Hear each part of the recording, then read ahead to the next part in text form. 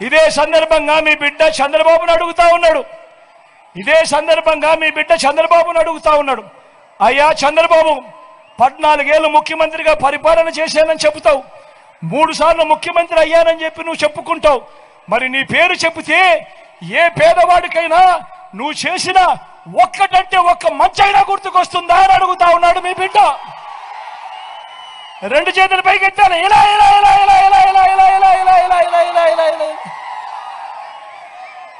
పద్నాలుగేళ్ళు ముఖ్యమంత్రిగా చేశానంటాడు.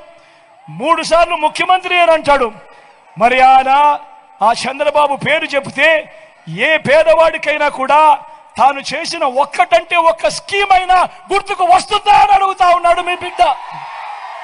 రెండు చేతులు గట్టిగా పైకి లేపాలి. ఇలా ఇలా ఇలా ఇలా ఇలా ఇలా ఇలా ఇలా ఇలా ఇలా. మరి అడుగుతా ఉన్నాడు మీ బిడ్డ. ఇలాంటి మనిషి ఇలాంటి మనిషి ఇవాళ ఎంతకు దిగజారిపోయాడో మీరే చూస్తా ఉన్నారు. ఈరోజు మీ బిడ్డ యుద్ధం చేస్తూ ఉన్నది ఒక చంద్రబాబు ఒక్కడితోనే కాదు. ఈరోజు మీ బిడ్డ ఒక్కడే ఒక్కడు ఇటువైపు నిలబడి ఉన్నాడు. పేదల పక్షాన మీ బిడ్డ నిలబడి ఉన్నాడు.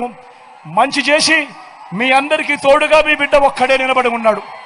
అటువైపున చూస్తే అటువైపున ఓ చంద్రబాబు కనిపిస్తాడు ఓ ఈనాడు కనిపిస్తాడు ఓ ఆంధ్రజ్యోతి కనిపిస్తుంది ఓ టీవీ ఫైవ్ కనిపిస్తుంది ఓ దత్తపుత్రుడు కనిపిస్తాడు. వీళ్ళందరికీ తోడు ఓ బీజేపీ ఓ కాంగ్రెస్. ఇవి సరిపోవు అన్నట్టుగా కుట్రలు కుతంత్రాలు అబద్ధాలు మోసాలు ప్రతిరోజు కూడా ఇదే జరుగుతూ ఉంది. గమనించమని చెప్పి మీ అందరినీ కూడా కోరుతా ఉన్నా. ఈ మాటలు చెబుతూ మీ అందరితో కూడా నేను ఒకటే ఒకటి చెప్తా ఉన్నా. చంద్రబాబు నాయుడు ఈ అబద్ధాలు అబద్ధాలకు రెక్కలు కడతా ఉన్నాడు. చంద్రబాబు నాయుడు మోసాలకు రెక్కలు కడతా ఉన్నాడు అబద్ధాలకు రెక్కలు కడతా ఉన్నాడు. లేనిపోని అబద్ధాలన్నీ కూడా చెప్తా ఉన్నాడు. ఈ మధ్యకాలంలోనే చెప్తా ఉన్నాడు. అవ్వ తాతలకు ఇంటికే వచ్చే పెన్షన్ తాను ఆపి ఏమంటాడు? మనం ఆపామని చెప్తాడు. నిజంగా ప్రతి ఒక్కరూ కూడా ఆలోచన చేయమని అడుగుతా ఉన్నా అబద్ధాలు ఏ స్థాయిలో చెప్తా ఉన్నాడని. ఏ రోజైనా పద్నాలుగు సంవత్సరాలు చంద్రబాబు నాయుడు గారు ముఖ్యమంత్రిగా ఉన్నప్పుడు మూడు సార్లు ఆయన ముఖ్యమంత్రిగా చేసేనంటాడు ఏ ఒక్క రోజైనా కూడా అవ్వా తాతల బాధ పట్టించుకున్నాడా? ఏ ఒక్క రోజైనా కూడా అవ్వా తాతల కష్టాన్ని చూశాడా? ఏ ఒక్క రోజైనా కూడా అవ్వా తాతలకు ఇంటికే పెన్షన్ ఏ ఒక్క రోజైనా ఇచ్చాడా అని అడుగుతా ఉన్నాడు మీ బిడ్డ. ఒక్క రోజు కూడా పద్నాలుగేళ్ళైన ముఖ్యమంత్రిగా ఉన్నప్పుడు ఒక్క రోజు కూడా అవ్వాతాతల బాధలు పట్టించుకొని ఇంటికి పెన్షన్ పంపని ఈ వ్యక్తి.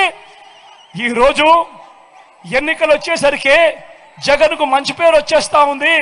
అవ్వాతాతలందరూ కూడా జగన్ను మా గుండెల్లో పెట్టుకున్నారు అని ఆ అవ్వాతాతలకు ఇంటికి అందే పెన్షన్ను దగ్గరుండి ఆయనే ఆయన మనిషి అయిన నిమ్మగడ్డ రమేష్తో కేంద్ర ఎన్నికల కమిషన్కు లేఖ రాయించి ఆపించి తీరా ఆపిన తర్వాత ఆ అవ్వా తాతలు చంద్రబాబు నాయుడు గారిని తిట్టు తిట్టు తిట్టకుండా తిడతా ఉన్నారు అని తెలుసుకొని ఈరోజు ఆ నెపాన్ని కూడా మీ బిడ్డ మీదనే వేస్తా ఉన్నాడు అని అంటే ఇంతకన్నా దారుణమైన రాజకీయాలు ప్రపంచ చరిత్రలో ఎక్కడైనా ఉంటాయా అన్నది ప్రతి ఒక్కరూ కూడా ఆలోచన చేయమని కోరుతారు